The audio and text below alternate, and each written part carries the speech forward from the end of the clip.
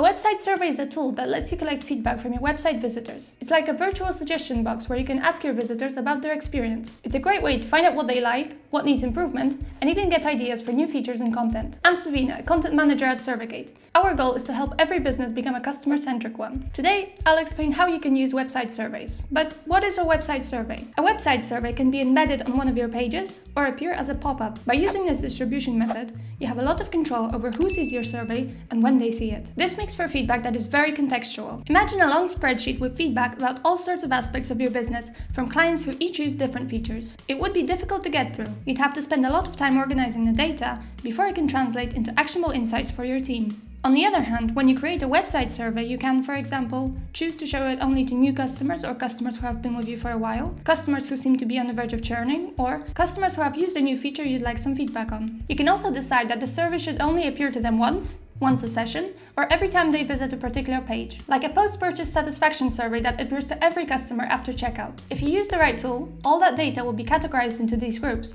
and you can just send the actionable insights to your team to work their magic on it. But how do you get started? How to create a website survey. First, install the tracking code on your website. Go over to survey settings and then web surveys. You can simply type your developer's email into the box and send the instructions, or you can install the code yourself. If you use Google Tag Manager, you can use the one-click installation available in your account or find the Survicate plugin inside GTM. We also have a WordPress plugin, and you can also install the code with the segment integration. Once we have the tracking code down, the fun stuff begins. Click Create a new survey and choose Website Surveys. All of these templates have been designed for websites. Let's go with Uncover Page Exit Reasons.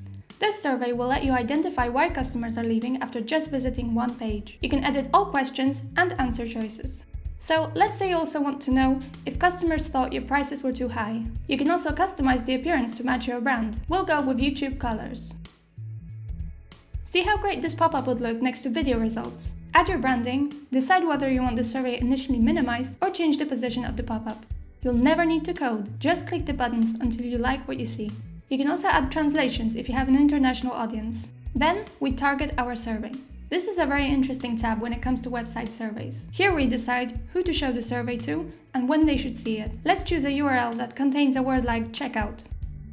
This will depend on how you structure your site. You can also exclude certain pages by clicking here and providing URLs. Then, set up when the survey should pop up. We'll choose when a user is about to exit. This function tracks their mouse movement towards the X in their browser. And let's make sure a user won't see this survey twice. You can define custom audiences in this tab as well. You need to pass user attributes from your website to Survicate to create audiences based on their demographics, such as their job title, email, or address. And lastly, we set up the frequency based on whether the user responded. Let's make sure customers who responded don't see the survey again. Then, connect your integrations and you can launch your survey. You can set a start and end date as well as a response limit. Then, you can just wait for the juicy data to accumulate in the Analyze tab. Start creating your professional website surveys with Survicate today. Engage your audience, understand their needs, and make data-driven decisions to improve your website. Sign up free by using the link in the description. Thanks for watching and please comment, like and subscribe.